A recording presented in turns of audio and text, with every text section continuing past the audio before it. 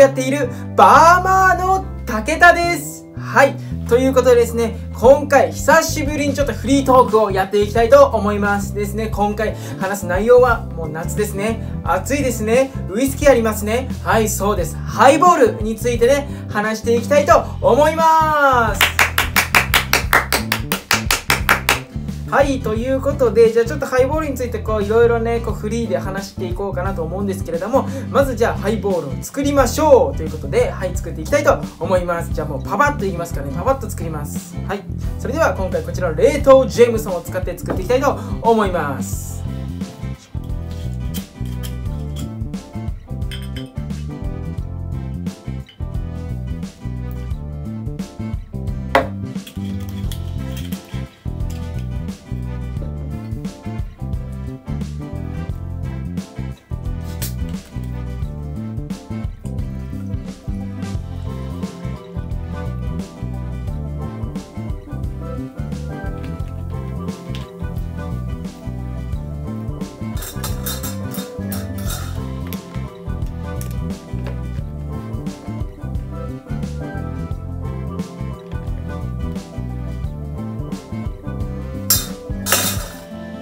それではもうささっとハイボール完成しました。ということでですねはい。それでは、はい、これからじゃねこれを飲みながらハイボールについて語っていきたいと思います。はいそれではねまず乾杯。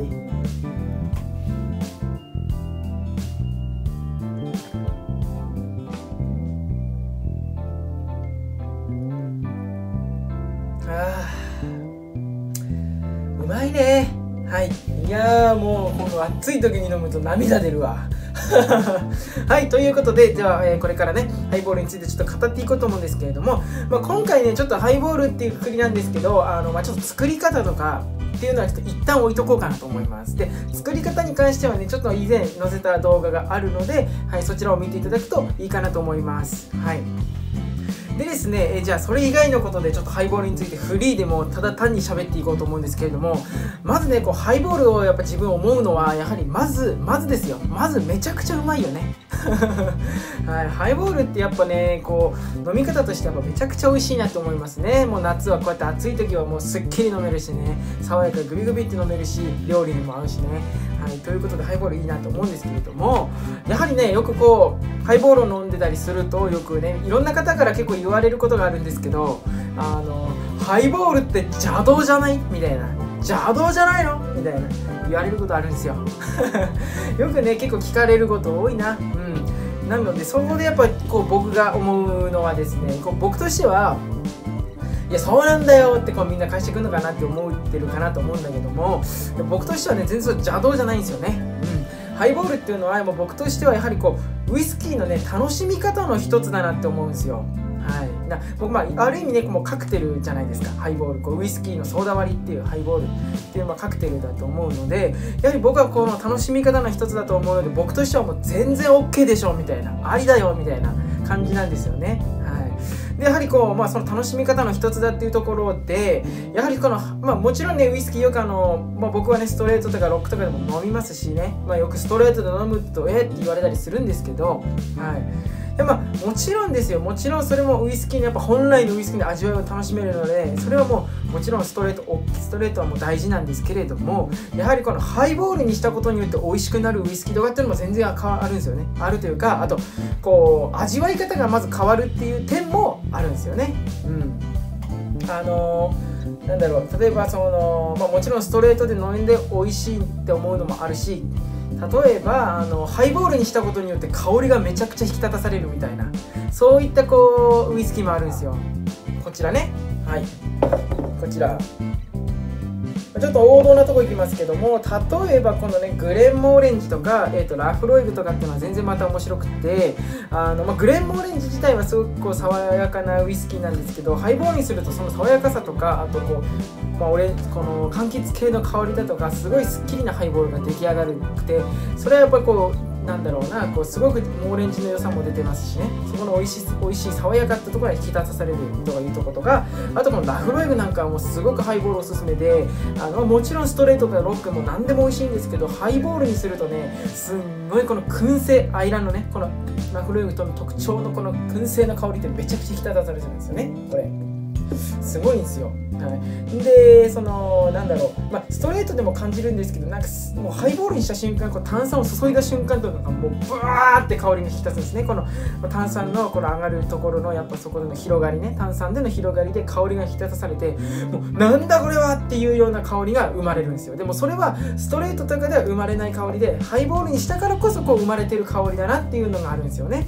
なんでそういった点を見るとやはりこうなんだろうなある意味こうウイスキーのねまた違った味わいとか良さを引き立たせるっていう面もあります、はい、なんでハイボールっていうのはまた一つのね楽しみ方なので僕としてはもう全然バリバリありでございますね。はい。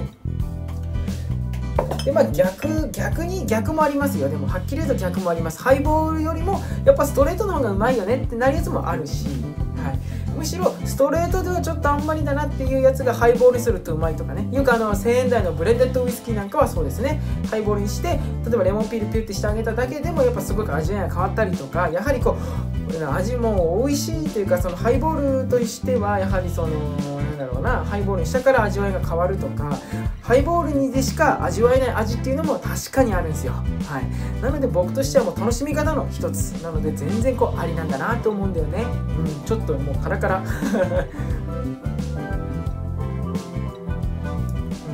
でいい例だとね、ほんとジェムソンなんかいい例ですよね。ほんと僕あの、ジェムソンやっぱ何でも美味しいですけど、一番ハイボールうまいなと思う、この甘さ、もう今の甘いのね、いいね。で、でも例えば、あのそう甘その、まあ、ジェムソンも美味しいしね、そのハイボールしたらうまいっていうウイスキーもたくさんありますっていうのは覚えていただいて、えーまあ、ハイボールね、こう楽しみ方の一つであるっていうのはこう大事、まあ、こう僕の意見でございます。はい、で、あのまあ、例えば今回やりましたけど、こうやってね、まあ、ちょっとちょっとあれだね、冷凍のジェムソンを使う、冷凍のウイスキーを使うだけでもまた違うしね。うん冷凍のやつ使うと結構僕甘さ立ったなって今回感じてあのやっぱあの常温だとすごい香りが立つんですけど冷凍だとあのすごい香りは閉じ込まるんですけども甘さっていうのがそうすごくこう濃縮されてる感じがしますね。うん、でまあ、今回こうステアとかはしてないで作りましたけどやっぱ冷たいウイスキーにグラスも冷やしていたのでもう冷やす手間がなくて注いで炭酸っていうもう気軽に作れてしかもめっちゃ冷たいんですよ。だ夏って最高なんで、まあ、こういったこうアレンジ方法もあるので結構ハイボールってウイスキーを変えただけでもこう冷凍にするか常温にするかとかそういった、えー、例えばまあ炭酸の注ぎ方もそうですけどやり方によってね自分の好みがいろいろ作れたりするので思った以上に結構奥深いんですよね。なのでアレンジの仕方でも全然変わるしウイスキーを選ぶだけでももう味が全然変わるっていうまた面白いところなんでございますね、うん、なのでこうハイボールの一つだけこうやって話すだけでもめちゃくちゃこう語っちゃうっていう。もう今までにないぐらいペチャペチャペチャって話しちゃう。ねもうペチャっていうね。ていう感じで。っていうもうやっぱうん。僕ねやっぱ夏はハイボールなんですよ。僕って。夏はハイボール。いや冬とか秋。秋冬に近づくとオン・ザ・ロックストレート。とかあとねトワイスアップもすごくいいよね、うん、こう香りの広がりを感じながらゆっくり楽しむとかそんなのもいい。まあ、今この夏時期はね、まあ、春も結構僕ハイボールかな、うん、やっぱそのなんだろう春らしいすっきりとした味わいを味わいたかったりとかするんで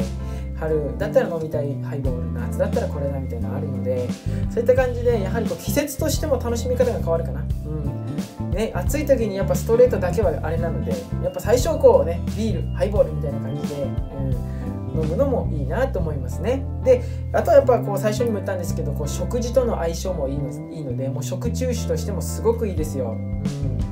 ジェムソンなんかは甘いからね食後酒としてこうあの例えばあのなんだろ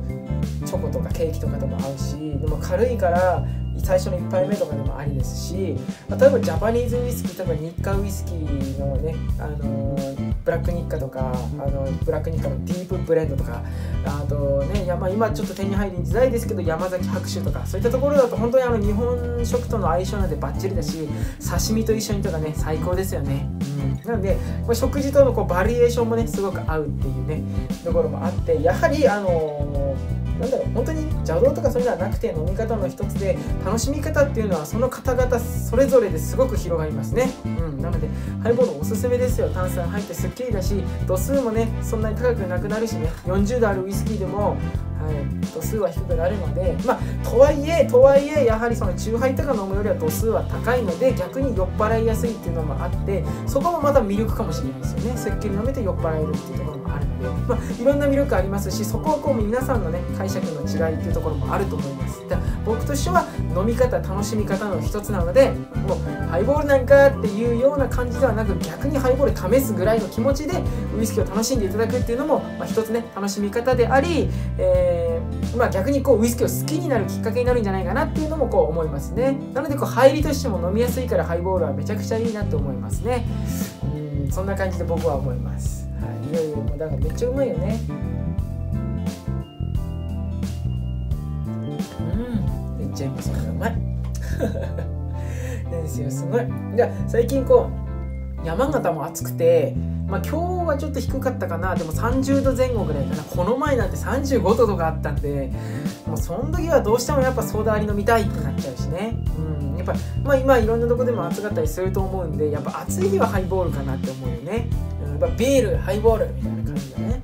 うん。ハイボール本当にで僕としてもこうジェムソンでハイボール飲んだのもすごく大きいしこれがあったから結構ハイボールうめえなみたいなジェムソンのハイボールうめえなみたいなってになったので多分これジェムソンは僕にとってハイボールで飲まなかったら多分こうジェムソンを押すってことはなかったと思うんでそれもハイボールっていう飲み方をしたからねジェムソンの良さをまあこう分かりやすく知れたっていうのがあったんでそういった点もあるので是非こう自分の好きなウイスキーでこうハイボール試していただいたり逆にいつもはハイボールじゃないけどこれどうなんだろうと思ったやつがあったら逆に飲んでみるっていうのも面白いと思いますね。はい。なのでぜひこういろいろ試していただければなって思いますね。はい。まあじゃあちょっとねこういろいろ語ってしまいますけども今日はこんな感じでフリートーク終了にしたいと思います。なのでもしねあの僕あの例えばこうこれのハイボールって美味しいんですかとか例えばこれはどうなんですかって聞きたいことあったらぜひコメントの方にもあの書いていただくと僕の方で、えー、まあ、飲んだことあればあの回答しますのでぜひね気になったりこうハイボールこういうのどうなんですかとかあったらぜひ僕に質問をよろしくお願いします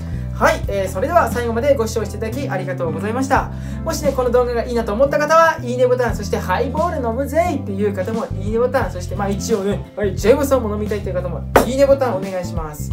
で、えー、もちろんですね僕のチャンネル登録もよろしくお願いします、えー、いろんなねウイスキーのえウイスキーの楽しみ方や飲み方であったりこのジェームソンのカクテルの紹介だったりお酒の紹介たくさんしておりますので、えー、気になった方はチャンネル登録していろんな動画見てみてくださいそして一番の特典はバーマーの僕に毎日会えちゃいますはい、ということで、え、ー、と、インスえ、ー、とですね、SNS もやっておりますので、えー、気になった方は、インスタグラム、フェイスブック、ツイッター、はい、こちら3つやっておりますので、え気になった方は、バーマーと検索をしてみてください。はい。で、えー、最後に、えー、一つねちょっと告知をさせていただきます、はい、告知なんですけれども、はい、今月の、えーと、8月の22日、えー、土曜日、はい。えー、僕ねあのたかあの僕ね出張バーテンダーをします、はい、で、えーと、高畑にある、えー、食堂アンドットっていうねところ。あ一応概要欄にもいろいろ載せておきますが食堂アンドットというところに僕あの出張バーテンダーをしに来ます。で、えー、今回はそのイベントっていうわけではなくてですね、えーと、お店の方の通常営業に僕がブースを出し出すって感じです。でそこで、まあ、キャッシュオンになるんですけれどもそこでねいろんなこうウイスキーとウイスキーカクテルを出していきたいと思いますで、えー、今回は僕の中で結構ウイスキー推しでやりたいのでいろんなウイスキー持ってきます。もう何十本もウイスキー持っていくと思うのであのこれからまあ SNS でも YouTube でもちょっとこういうウイスキー出すんですよっていう宣伝はしていこうかなと思いますのでぜひねウイスキー好きな方でこの山形で近くにいる方でも気になった方はね、えー、8月の22日食堂アンドットでお待ちしておりますので気になった方は遊びに来てください。はいよろしくお願いします。はい、えー、それでは、えー、ありがとうございました。おしょーしな See you!